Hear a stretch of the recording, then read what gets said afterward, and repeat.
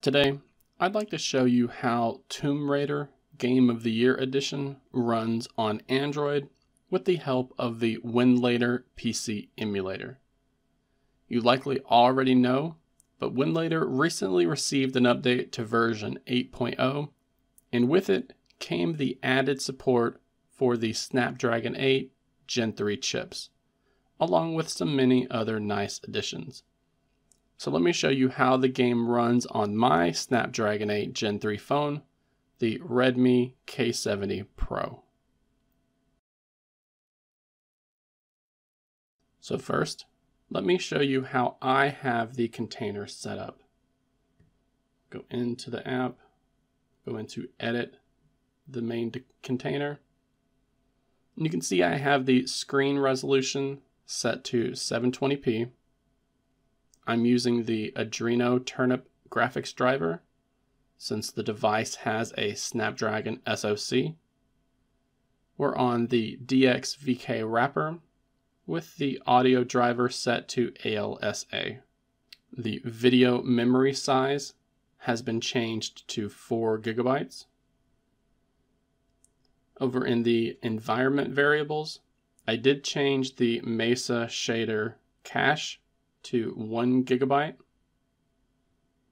And over in advanced, you can see we have it set to aggressive for the startup selection so that the container will kill all of those extra services. But the rest has been left to the default setting. Now that we have started the container, Let's go ahead and load up Tomb Raider. Now, I haven't gotten very far in the game so far, since this is a game that I've already completed on the PC. But seeing how the game runs on a smartphone like this is incredibly impressive.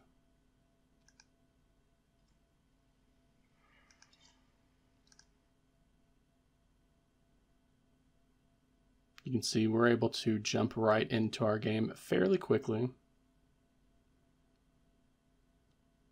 The load times here aren't that bad. And you'll notice right off the bat, we are hitting more than 30 frames per second.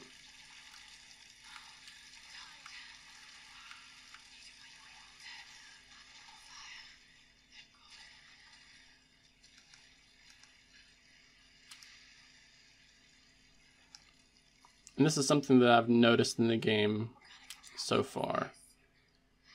The performance does generally stay over 30 frames per second. However, in some cases, when the environmental effects go a bit crazy, it can cause the frame rate to drop just a little bit. It doesn't make the game laggy or stutter or anything. You just notice that the animation is a little less fluid than you would like. Just like here, you can see it dropping down to about 21 frames per second.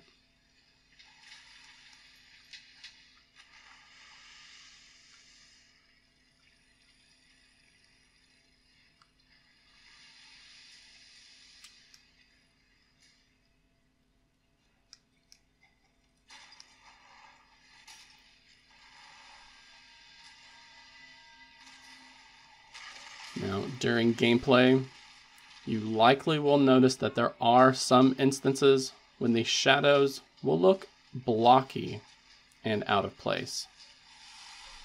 I noticed this earlier in the cave intro level, but it didn't last very long at all.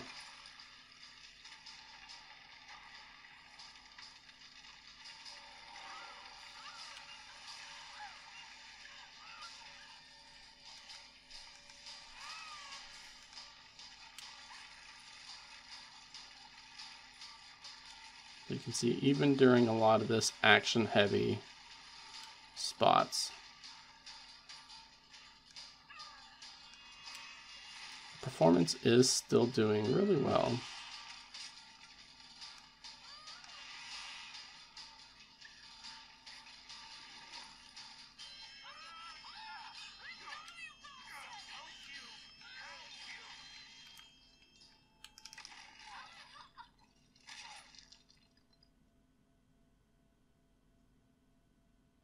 If you're having difficulty getting the game to perform at a respectable level, like maybe you have an older flagship or a mid-range one, then the first thing that I suggest is going through the menus here and changing the default graphics settings. Changing some of these to a lower quality, a lower texture quality, dropping shadows down, the shadow resolution. A lot of these can be dropped to help boost the performance a little bit. And you can also go in and change the screen resolution from the container page as well. All things considered though, I've been very happy to see how Tomb Raider Game of the Year Edition performs like this. I have not noticed any crashes yet, although I haven't really had any extended play sessions with the game yet. So let me know if this is something that you've had experience with down in the comment section below. I downloaded the offline installer for this game from my GOG library, where it's currently on sale for less than $4. And I'll be sure to have that link down in the video description below as well as the pinned comment for anyone who is interested in buying the game. I would much rather see those of us within the Android community spend money on a full game like this than on in app purchases of free to play games. So please, remember to like this video while also subscribing to the channel for more Android emulation content like this.